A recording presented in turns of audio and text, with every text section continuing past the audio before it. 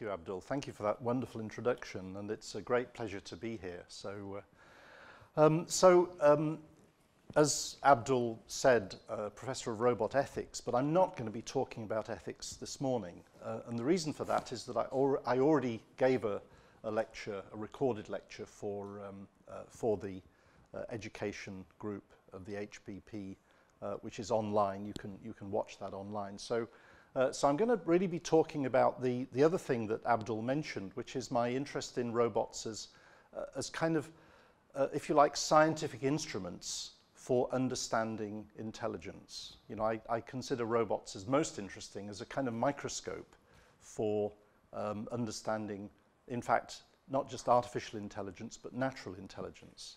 So um, I'll be exploring with you the question can a machine think? Of course, you know, that's a famous question uh, asked by uh, Alan Turing uh, back in the 1950s. Um, but of course, you know, what do we mean by thinking? Well, um, you know, most people think of, of, uh, of when, you, when you ask people to think about thinking, uh, most people think of, of Rodin's thinker. You know, that's, that's the kind of thinking that we associate, associated uh, with uh, the term thinking, kind of reflective, intellectual, rational, um, logical thought. And we give little uh, attention to the fact that uh, the lady on the left, of course, is also doing a lot of thinking, but it's a very different kind of thinking. Uh, you know, the thinking that we uh, need to make a, a pot of tea um, is every bit as difficult as the thinking that we need to do um, uh, to do philosophy, for instance. And um, you know, one of the great lessons, if you like, of the last 60 odd years of artificial intelligence uh, is that we originally thought that um, the kind of thinking on the left would be really easy and the kind of thinking on the right would be really difficult. In fact, it's turned out to be exactly the wrong way around. So, you know, we've had um, really good uh, AIs to, to play chess, you know, more recently to play uh, Go. Um, so that kind of thinking, actually, we can mechanize. But the kind of thinking on the left, no chance. Um, you know, there is not a robot in the world that could go into somebody else's kitchen uh, and make you a cup of tea because it's so difficult. You know, the, uh, the kind of, of, of processes, the kind of actually mostly unconscious processes by which, you know, we can um, do the kind of simple everyday thing like make a cup of tea um, really still eludes us uh, as far as uh, artificial intelligence is concerned. So, you know, let's ask a different question. Um, and, you know, I'm often uh, asked uh, when I give public lectures, but, you know, how intelligent is the world's most intelligent robot? And uh, really behind the, the, the question is a kind of assumption that intelligence is a kind of scale, you know, from very little to a lot. Uh, so, you know, here is the, the kind of uh, common um, uh, understanding, if you like, the, the folk understanding that um, a cat is smarter than a crocodile, which is smarter than a cockroach. In some senses, that may well be true, of course, but uh, the simple fact is that intelligence is not one thing that animals, you know, humans and, and robots have more or less of. So actually this, this model is, is uh, patently wrong. Um, and of course we, you know, we typically put ourselves right at the top of that scale of intelligence. And it's undoubtedly true, of course, that, the, uh, that I think probably um, we humans are the only animals on the planet that think about thinking. So that's a, a pretty um, uh, unusual thing to do. So, you know, how intelligent is your robot? Well, if you have a little robot vacuum cleaner, it's probably not as smart as a cockroach. In fact, it's nowhere near as smart as a cockroach. It may be about as smart as an E. coli, um, which you know, might surprise you. In fact, single-celled organisms are pretty smart. I mean, they, they have sensors, they have actuation, uh, they have uh, computation. It's, of course, you know, chemical um, computation. It's not, there's no, there are no neural networks in a single-celled organism, but there is still extraordinarily complex and sophisticated computation going on, um, you know, by virtue of the enzymes and the proteins and, and the process of diffusion, in fact, inside the, the cell body, uh, which means that, that single-celled organisms uh, can, you know, survive, live, um, uh, find food, predate, and even learn. Can you believe there are single-celled organisms that demonstrate learning? So I reckon our robot vacuum cleaner is about as smart as an E. coli. so not very, um, I think is, is a safe assumption. So what about this robot here? Let me just uh, play the, the movie. Um, robot Yeah, here we go. Oh, are you surprised that I'm a robot? Take a look at me. I look just like a human, don't I? Well, it is really hard to recreate a robot which looks just like a real human. More than you would imagine. Because you can tell that I'm not a real human if there is the slightest trace of unnaturalness in my behavior or action. So that rather distressing video shows a, a humanoid robot. How smart do you think that humanoid robot is? Seriously. Well, it's a recording, her voice? Um, it's, I mean, the, the voice is, uh, as you say, speech synthesized. Um, it's almost certainly uh, a pre uh, programmed sequence of speech, yes, yes. She didn't think of what to say. Quite, yes, exactly right. Yeah. Did she say anything else? Or was that the limitation? Um, that's pretty much the limitation. I mean, the, the point really uh, here, uh, and this is, this is a kind of ethical point, um, we can build uh, remarkably uh, lifelike humanoid robot bodies, but we cannot build the brains. I mean, you know, I would assess uh, that robot as not much smarter than your washing machine.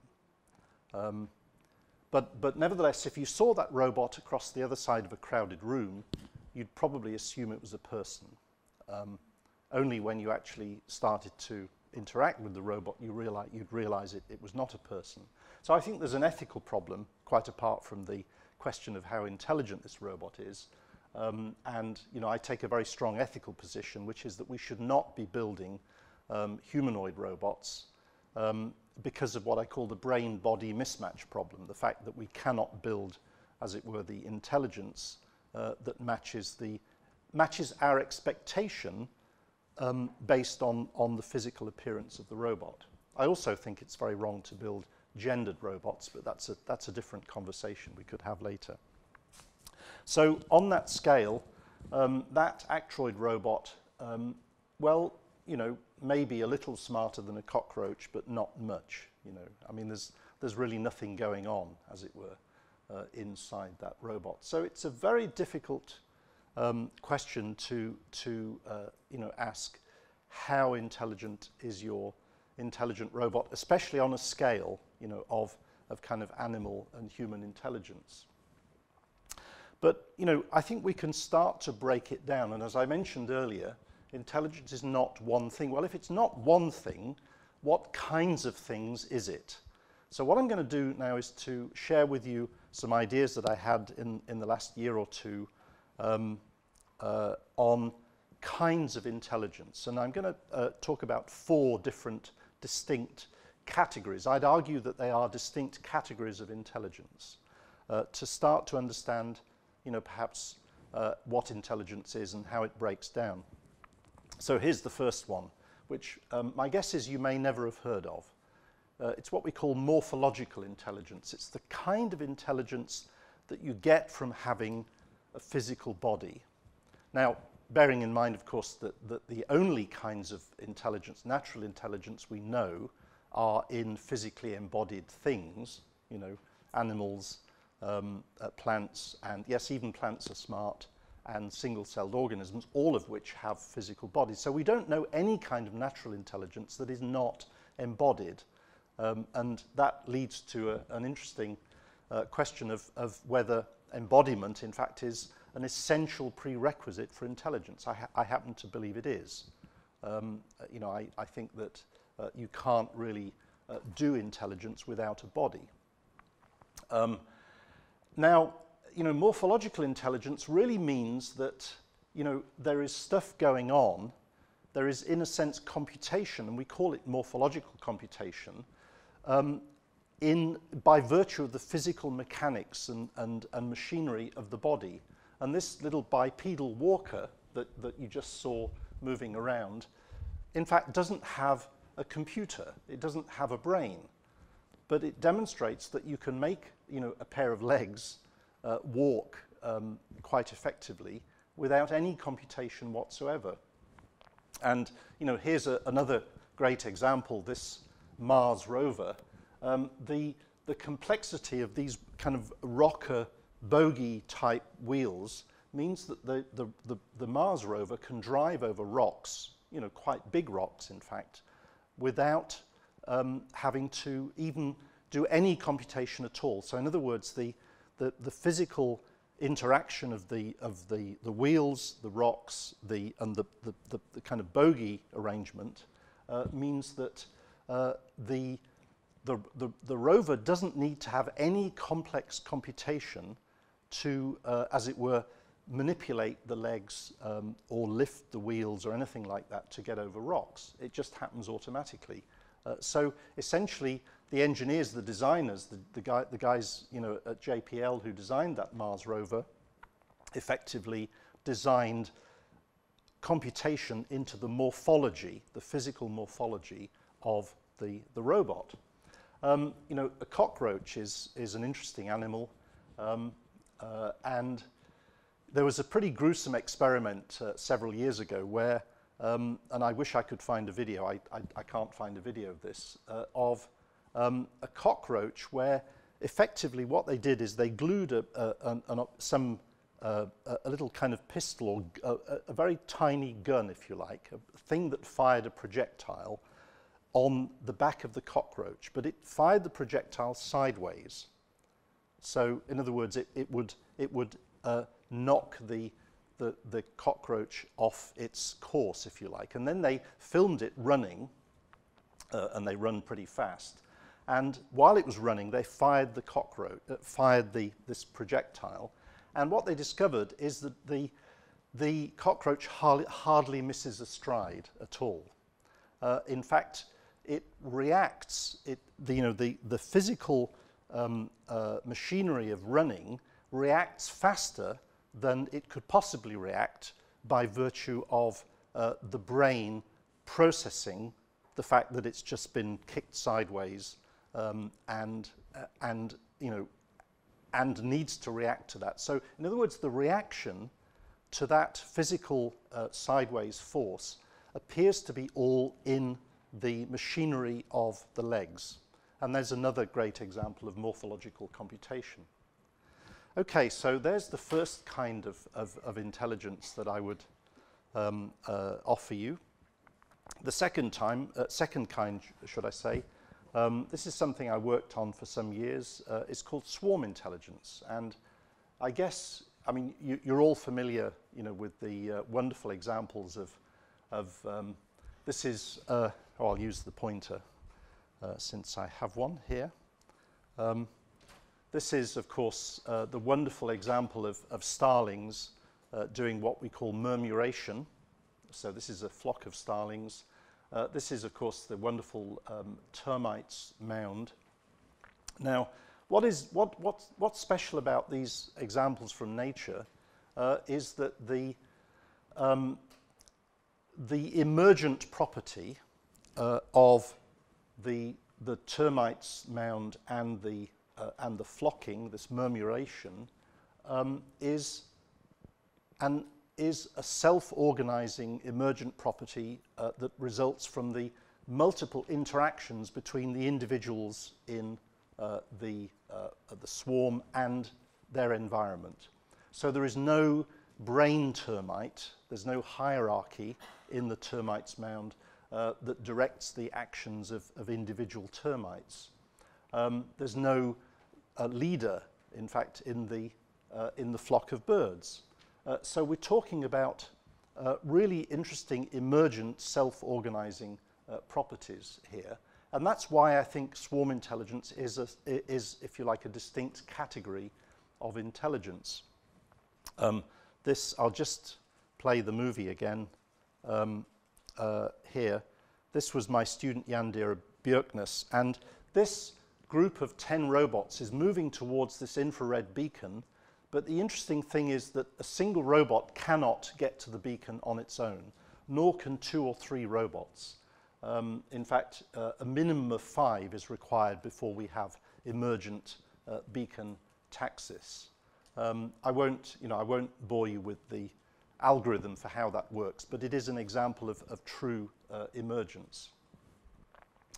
So I think that's a, a really interesting category of intelligence. Um, and okay, so let's, let's go to the third one. Uh, this is individual intelligence. So here we're getting a bit more sophisticated. So, you know, morphological and um, swarm intelligence are both quite ancient kinds, if you like, categories of intelligence in evolutionary terms. They've been around a long time. Whereas the ability to learn individually um, a skill uh, by trial and error uh, is undoubtedly you know, more recent in evolutionary terms. Um, here's a, a, beautiful example of this EU project, this XPERO project. This NAO robot uh, is learning how to pick up blocks and place them on, on these little boxes um, rather laboriously and, and slowly. Um, and of course, it's a wonderful piece of research. I mean, really, uh, really remarkable piece of research. Until you remember that that little girl on the left uh, learned all of that stuff automatically uh, without any uh, or probably very little encouragement from uh, parents or, or, brothers and sisters, while she was learning a whole lot of other stuff, you know, alongside that, that play. Um, whereas that robot, you know, the, the, experiment you're seeing there was the result probably of, of, of a three or four year project and, you know, hundreds of person hours of hard labor uh, coding that uh, learning ability in the robot. Um, and uh, of course, that NAO robot can only do that one thing. You know, it, it, it's learned uh, or it's been uh, uh, programmed to learn that one thing. So individual intelligence is clearly a, a, a really powerful kind of, of, of, intelligence, this ability to learn individually. Um, and its, its mirror, uh, which is undoubtedly, uh, I think, uh, in evolutionary terms, the most sophisticated kind of intelligence is social intelligence.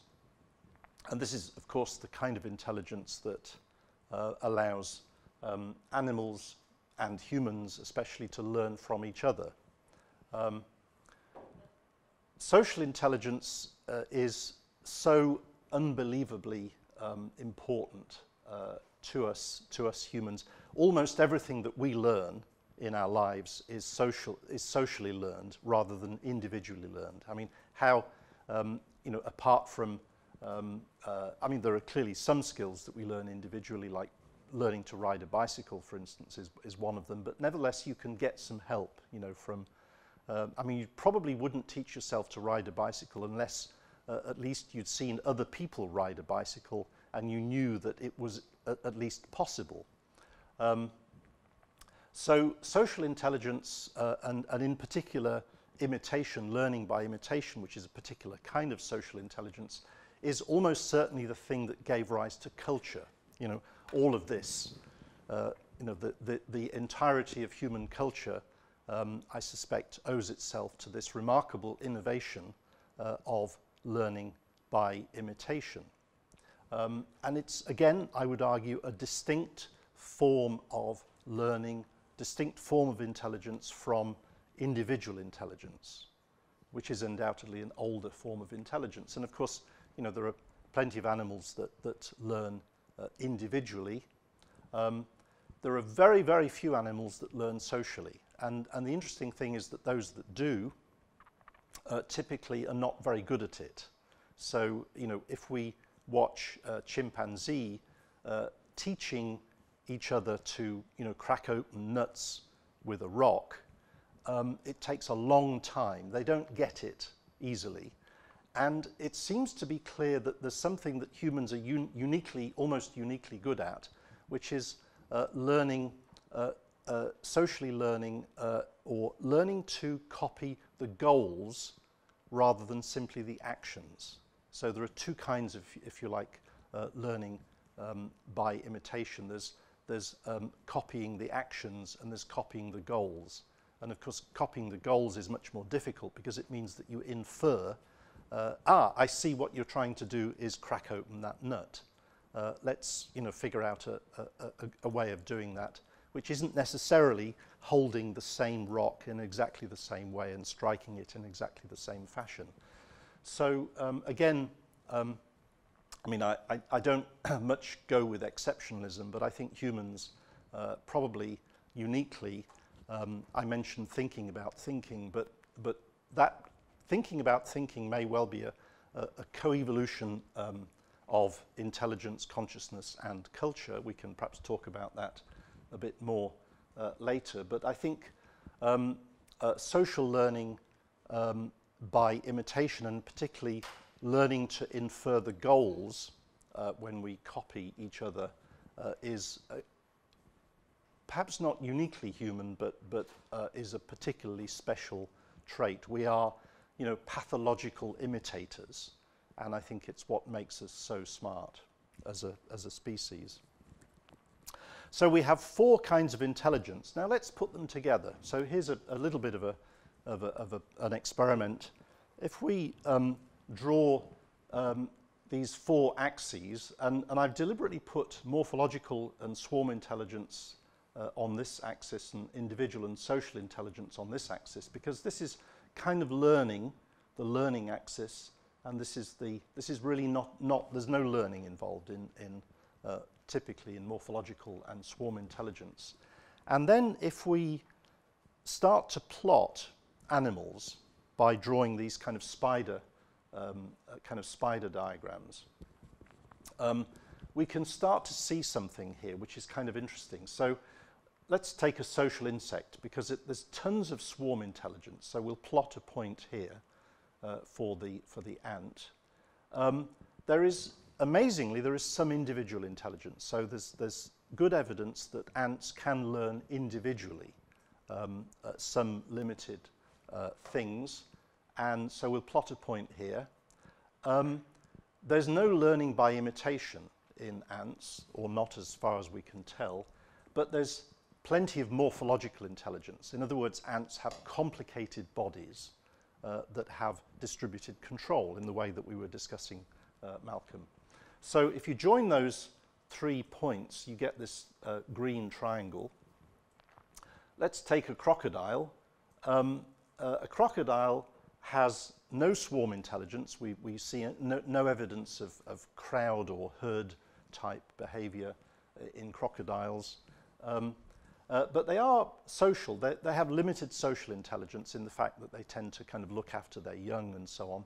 Um, not really very much social intelligence in, in the sense of, of learning by imitation, if any. So I'm, I'm being a little bit generous to the crocodile here. Um, there is uh, plenty of individual intelligence going on, certainly more than an ant, and rather less morphological intelligence. Um, a crocodile has a less complicated body than an ant. You know, there are fewer joints, um, fewer legs, for instance. Uh, so there we get this kind of red triangle. Now, this, of course, is all hopelessly uh, approximate. Uh, it's just to give a, a, a kind of bit of a pictorial view of, of how these kinds of intelligence fit together. And I mentioned plants earlier. Here's the uh, uh, uh, Arab, Arab, uh, Bidopsis, the mustard plant, I think, is that right? Um, which is the one that plant biologists tend to use when they're studying uh, plants a, a lot. And it's clear that, that plants have some morphological intelligence because they can turn uh, toward you know, the sun uh, uh and, and such like. And there's also some evidence of um, assisting each other. So plants, in fact, do demonstrate some kind of, if you like, crowd behavior, which is an odd word to use for plants, but, but it's, it, it's certainly true. Um, but we know of no individual or social intelligence. So, you know, we end up with this kind of line here. So that's interesting, isn't it? Now, you know, let's put a human on there. Well, you know, we do pretty well. I mean, we have absolutely acres of social intelligence. Uh, we have loads of individual intelligence, uh, less morphological intelligence than an ant, um, perhaps a little bit more than a crocodile, I don't know, because simply because we have, you know, these remarkable things called hands with fingers. Um, and yes, we do have some swarm intelligence. You know, uh, humans do demonstrate crowd behavior. Um, uh, you know, we, we do herd, as it were. Uh, so, uh, but nowhere near as much swarm intelligence as social insects typically. So you end up with this um, blue line here, uh, which again, you know, this is not scientific. This is just kind of rather hand wavy um, uh, estimations. But it, it does start to, at least I hope you agree, uh, give us a more interesting and nuanced picture of, of you know, comparing, uh, allowing us to at least um, qualitatively compare the intelligence of, of different animals and, and indeed uh, plants. So where do robots fit on this? Well, this is where it gets depressing because, you know, we, we very quickly uh, discover that um, most robots really only have one or two at most kinds of intelligence. So typically we, we build robots like this for swarm intelligence, robots like this for social intelligence, a little bit of social intelligence is Paro uh, robot uh, baby harp seal. Um, uh, robots like this, little, little walker that have lots of morphological intelligence but nothing else, and the NAO robot, which you know has some individual intelligence and some morphological intelligence, so may well be um, may well have, uh, as it were, two points on this uh, on this diagram. I mean, clearly, the the robot uh, baby seal has a little tiny bit of morphological intelligence. Uh, these e-puck robots have a tiny bit of morphological intelligence, very little, um, but you know we quickly notice that, that um, we don't actually have robots that have normally more than two of these distinct categories of intelligence. So maybe this starts to explain why robots uh, are so typically unintelligent um, uh, so far. So, you know, I, I really think, um, I mean, here's a, a little example. Um, the iCub robot that's perhaps, I mean, th this is a, uh, video is a couple of years old, but I thought this was perhaps the most interesting combination of um, uh, of intelligences, arguably with some some individual and social intelligence here. So it's uh, um, this robot is. I'll just play that again for you. Um, is uh, basically figuring out how to grab the ball from uh, his hand rather beautifully. It's this, it's this European open source robot called iCub. So if you have plenty of money and a really well-equipped workshop, you can download the plans and, and make yourself one of those uh, robots. Um, and that was a, a project that uh, we uh, led um, in our lab called the CHRIS project, which stands for Cooperative Human-Robot Interaction Systems. But again, we have to remind ourselves that that little um, few seconds of, of movie clip uh, represents the end of, of several years of really hard labor uh, to build a robot that only does that one thing. Um, you know, if you, if you changed almost anything about that, ex that experiment, the, the robot would simply not know what to do. So it's, it's kind of depressing. You know, we're a long, long way from uh, anything approaching um, human equivalent uh, robot intelligence. A long, long way. I mean, I, you know, people say how long? Um, in my view, hundreds of years.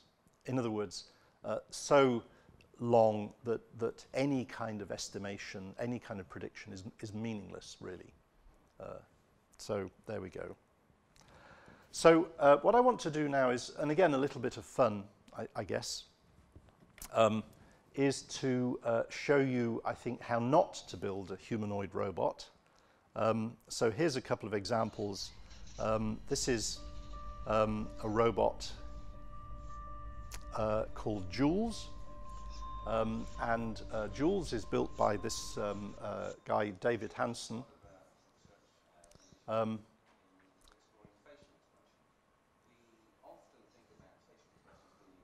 the robot has just lots of motors in its, in its face which pu- push and pull the skin. Um, and uh, what's happening here is that uh, the robot is mimicking the facial expressions of, of, of Peter Jaeckel, uh, our student. So they're pulling faces at each other, basically. Um, and uh, uh, of course, there's, there's nothing at home. I mean, it, it's just a very sophisticated, uh, in a sense, and I'm, I'm being a little bit pejorative here. Um, so uh, forgive me, David Hanson, if you should happen to see this video. Um, you know, this is really uh, animatronic, you know, uh, as opposed to um, uh, AI. But of course, what you can do, and this is interesting, um, although I think it's not the way to build an, uh, uh, a, uh, humanoid robot, is that you can put a chatbot um, behind the robot. Now, I don't know if you've, ha- have any, any of you seen this um, uh, robot called Bina 48? This is remarkable. Um, so the robot was commissioned by this rather rich Hi, Bina. lady here called Uh, a real person, I'm glad Bina to meet you. Rothblatt. I'm glad to meet you too. Oh, so where were we? I'm introducing myself. I'm Amy. I'm a reporter. There is probably more to you than just that. well, that's true. I'm a mother. Right on. I had lofty goals for my interview with the Bina 48 robot.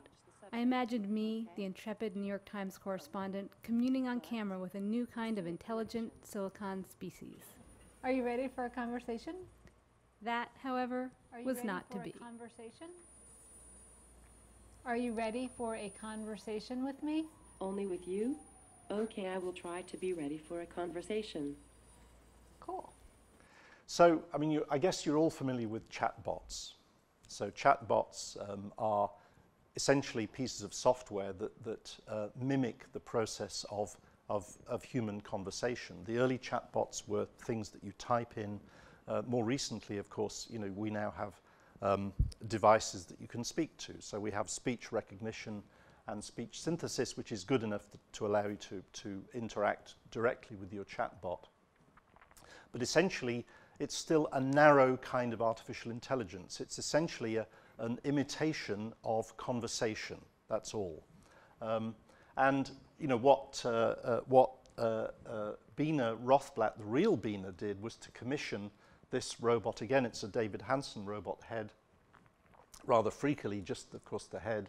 Um, and it's wired up to a computer. It has, uh, it has the speech synthesis, the speech recognition, and behind that, a chatbot software that is interestingly um, programmed with some autobiographical data on the real Bina.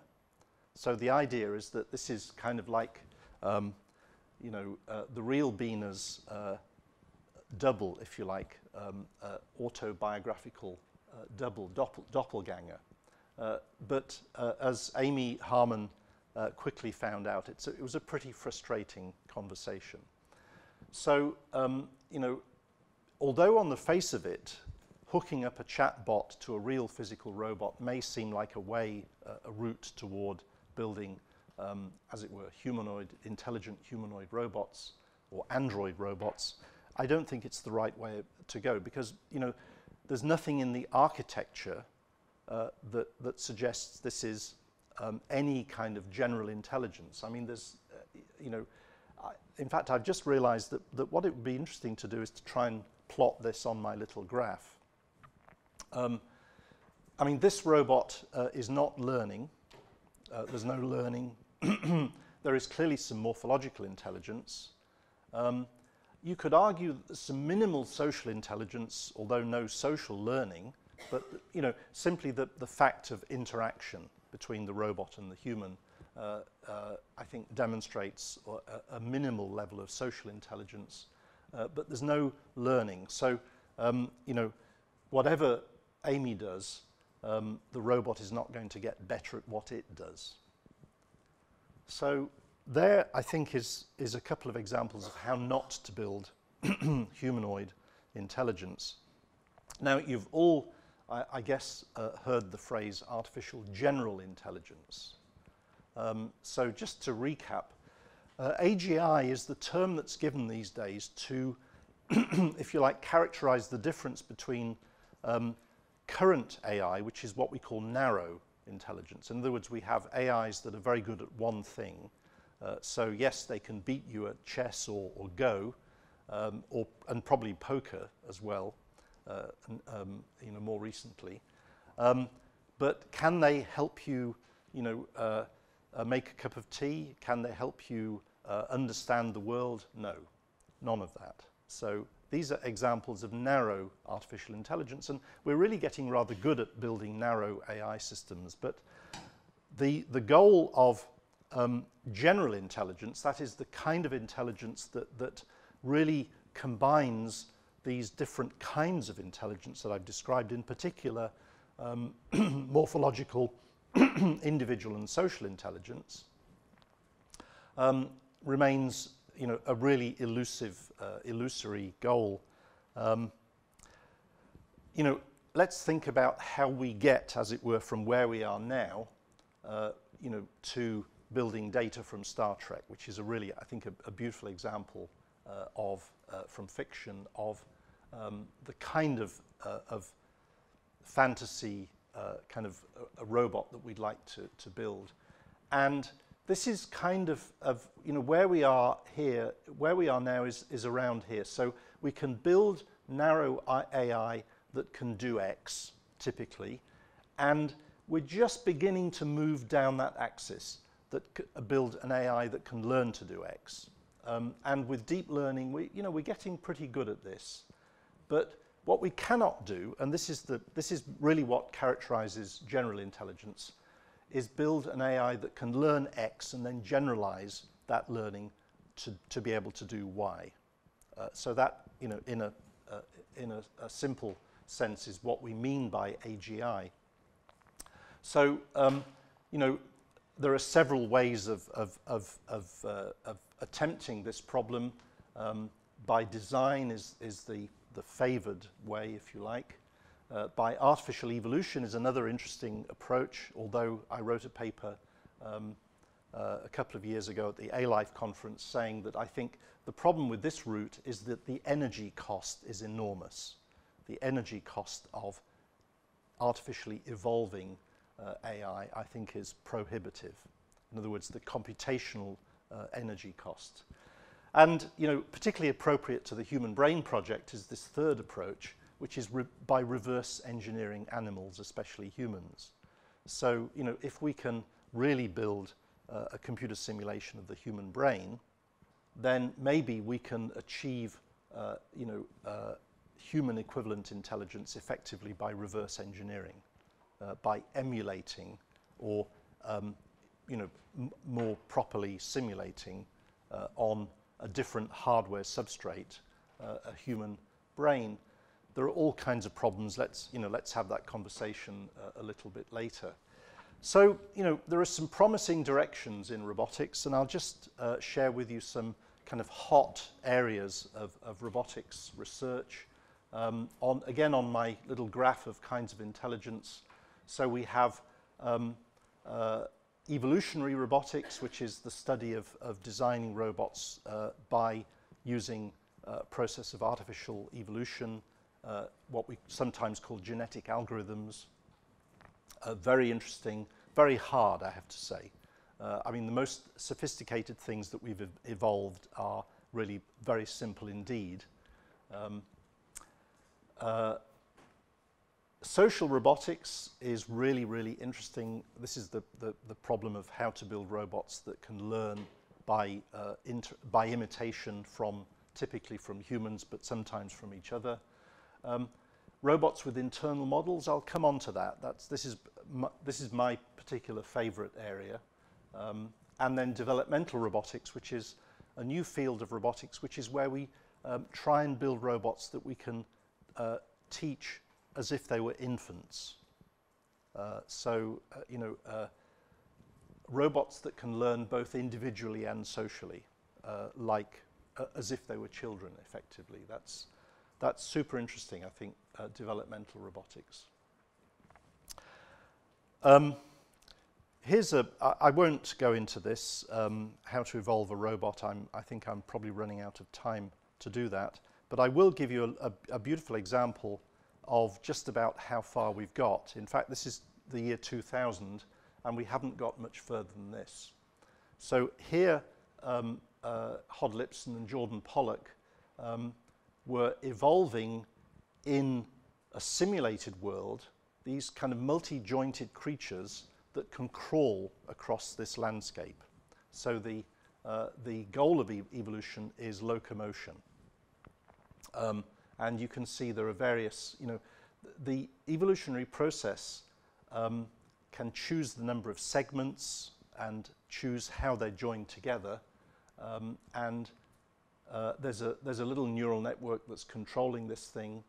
Um, and you can see some very, very interesting architectures. This, this linear actuator that's pushing the robot along. Um, and fascinating that, that when they uh, finished this process, um, they then physically built the, uh, the best, as it were, creature from the process of artificial evolution. And this is what it looked like.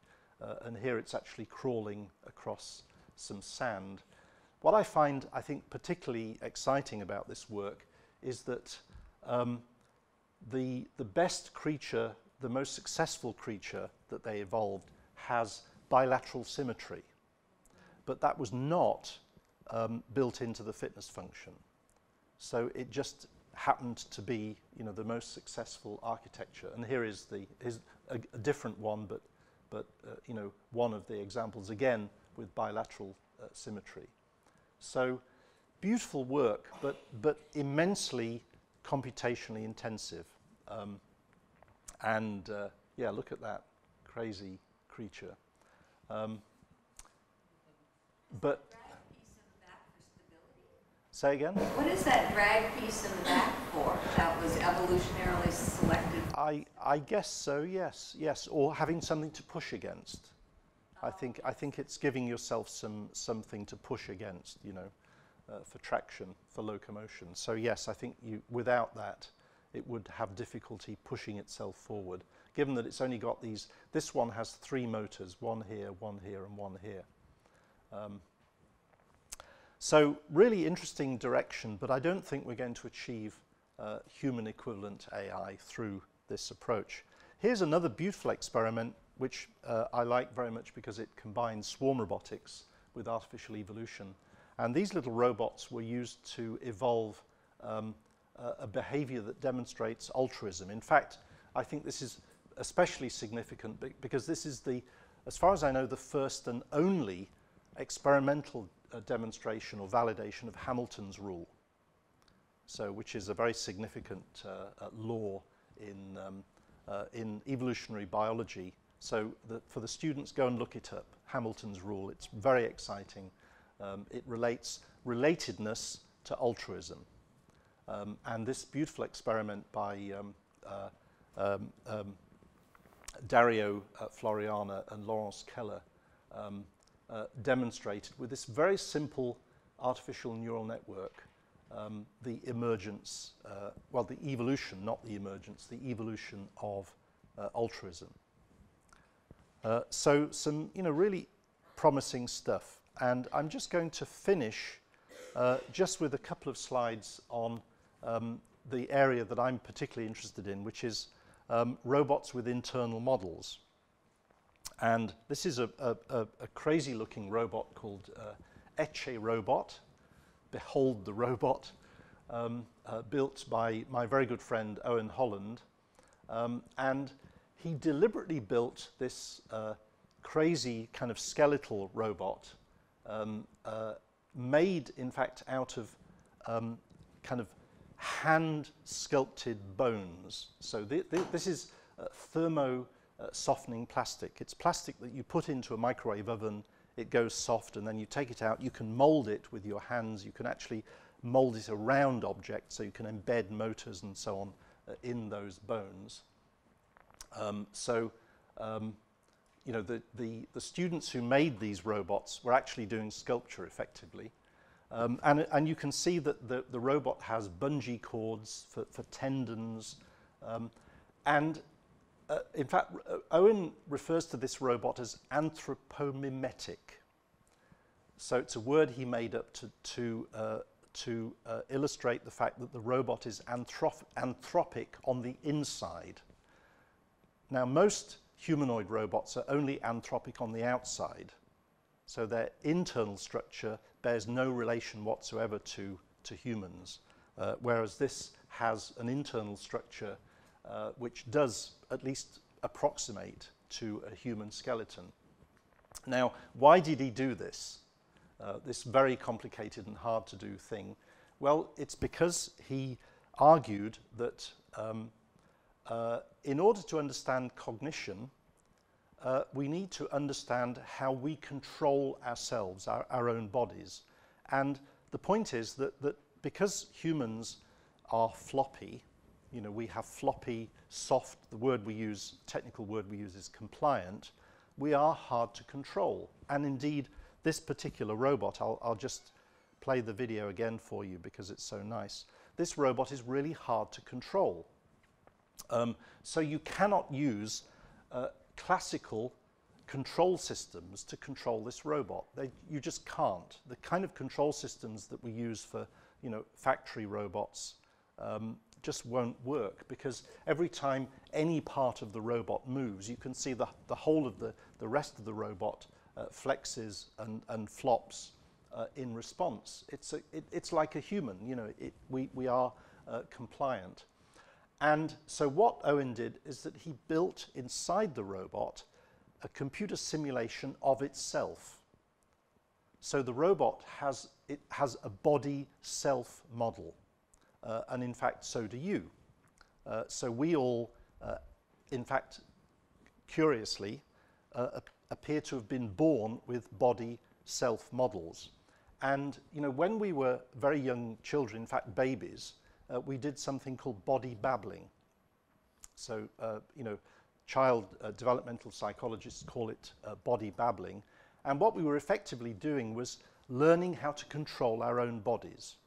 You know, by moving around apparently at random, uh, we, um, you know, develop the ability to first, to, to first have gross motor control and then, uh, you know, after a, a few more years, very fine motor control of, of the kind that, that we all uh, enjoy.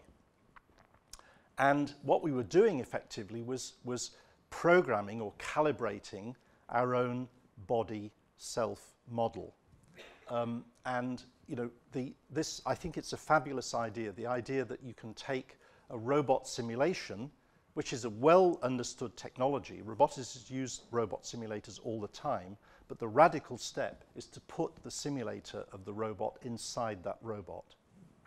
And inspired very much by Owen's work, um, I've uh, done the same thing, um, really not necessarily to build ethical robots, but it was just an interesting case study. So here's um, a little experiment uh, showing, uh, and this is an ethical robot here. This is pretending to be a, this is a robot pretending to be a human. This is danger. This is the goal position for, for the, the ethical robot. The ethical robot has a simulation. Now, this is a different kind of internal model in the sense that it's not just a model of itself, it's a model of itself and the environment and the, uh, and the other robot. Let me just, um, if I've got a, uh, yeah, I, have, I, do have just two or three minutes. Um, I'll paint a picture for you. Imagine that you're walking down the pavement and you see um, a child about to fall into a hole in the, in the ground. Okay. um, you'll almost certainly try and save her. Uh, you know, maybe she's looking at her smartphone. Not that we ever do that, do we? Um, now, how is that? Why is that? Well, it's not just because you're a good person, it's because you have the ability to predict the future. And I mean that literally. You can predict that if she doesn't, you know, take care, doesn't notice what's happening, uh, where she's going, she will fall in the hole and you know that, that she'll come to harm. You can also predict that you may be able to intervene. And if you're close enough that you can might physically intervene, if you're too far away, uh, you, you might shout, you know, hey, you know, mind where you're going. So you have the ability to predict the future. Well, the machinery to predict the future is this uh, self-body, self-model. Because of course, here's the wonderful thing. If you have a model of yourself inside yourself, you automatically have a model for others like you, for conspecifics. So, you know, I'm really edging in the direction here of artificial theory of mind. Uh, so we're kind of building, if you like, very early, um, uh, you know, very tentative steps in the direction of artificial theory of mind. So, uh, oh, uh, why didn't that movie run? Yeah, here we go. So um, here, the um, blue notices that red is heading for danger, um, heads off uh, uh, red, who stops, and then blue just continues uh, to its own goal uh, position. So there we go. Um, just for a bit of fun, we thought let's try uh, giving blue an ethical dilemma. Perhaps the second, perhaps the world's first example of, a, of an experiment with a robot facing a balanced ethical dilemma. So here we have two proxy humans, both heading for danger, and Blue, uh, and I should say Blue is running exactly the same software. We've not changed the software. So it's like you faced with two children about to walk into a hole in the ground. Um, so uh, Blue uh, initially goes to, the, to try and save that one, and then what does Blue do? Uh, actually, you know what? Too bad. You're going to plunge to your doom, um, and I'll go and save that guy instead. Yeah. Um, which really just uh, illustrates an important point, which is that robots cannot solve ethical dilemmas. So um, at that, I'll uh, at that I'll conclude and, and, and say uh, thank you very much indeed for listening. Thank you.